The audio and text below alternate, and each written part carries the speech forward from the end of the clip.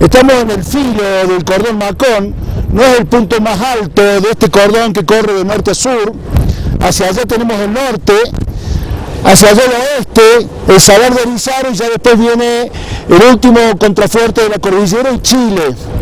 Estamos viendo la torre de donde se hacen las principales mediciones para la caracterización de este sitio, del cordón Macón, en el cual la organización ESO ha indicado como uno de los candidatos para instalar lo que podría ser el telescopio más grande del mundo. Hacia mi derecha tenemos el sur y el viejo sitio en donde hacíamos las mediciones. Estamos a 4.660 metros de altura, aproximadamente unos 800 metros por debajo de la cumbre, el punto más alto del cordón Macón. Mil metros por sobre Tolar Grande, en donde tenemos nuestro control del telescopio. En la torre tenemos un instrumento más DIM que consiste en un pequeño telescopio modificado que nos permite medir la turbulencia de la atmósfera en esta, en esta locación. Indudablemente que el orgullo máximo es ver acá un observatorio, todo esto se está haciendo para ver algún día acá una facilidad astronómica, este, dando, eh, proveyendo datos y descubriendo cosas.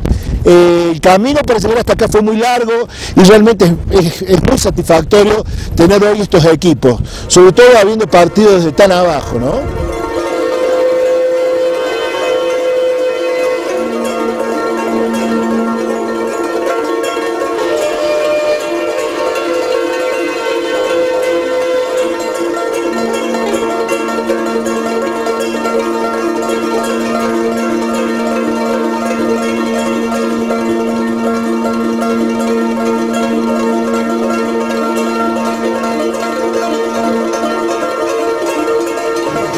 Creo que sería buena idea una vez que terminemos de ajustar todo, ponerles una puntita de adhesivo a los, sí, yo creo que tornillos.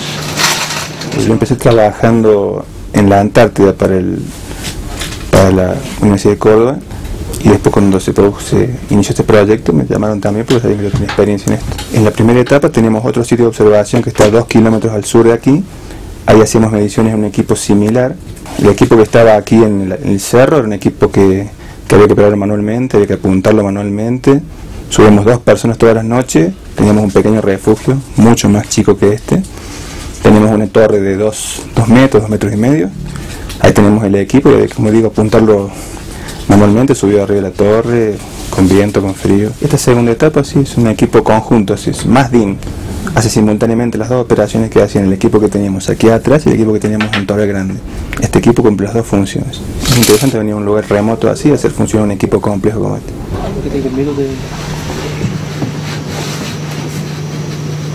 Eso tiene dos canales perpendiculares. El primer canal te da la, fuerza de la turbulencia atmosférica en, a, a alturas fijas arriba de la atmósfera y eso, ese canal que está perpendicular, te da la turbulencia total. De manera que para un lado tú puedes distinguir cómo está distribuida la fuerza de la turbulencia a varias alturas y eso te da el total.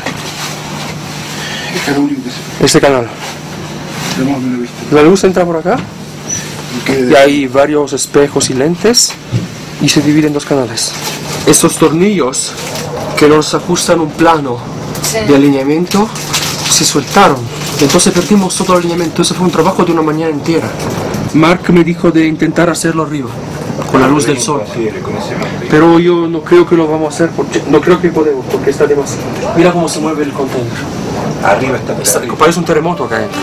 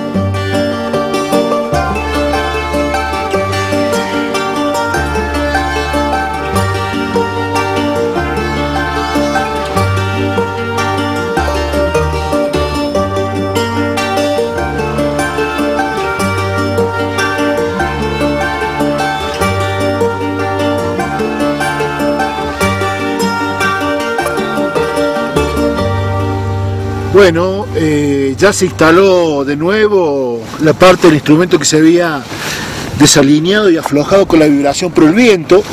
Si todo anda bien, si este trabajo da resultados ya para esta noche, estamos, digamos, tomando datos. Hacemos una tareita más y ya estamos en condiciones de, de ir para abajo, a ver si las cosas han quedado bien y a buscar una comida calentita.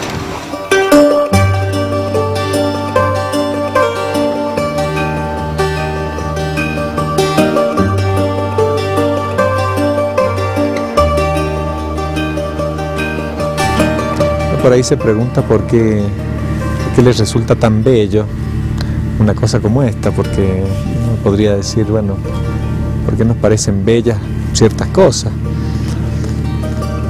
El brazo este de la Vía Láctea, los brazos de la Vía Láctea se piensa que tienen un rol fundamental en la vida del planeta, de los planetas en general y en este en particular, porque el Sol con sus planetas giran alrededor del centro galáctico y cruzan los brazos espirales.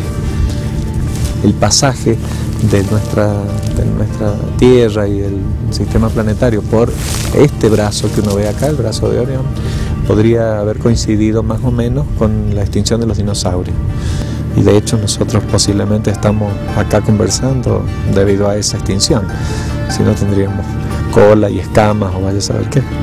O sea, desde el positivismo uno piensa que las estrellas no tienen vinculación con la, con la vida, contraposición con la astrología.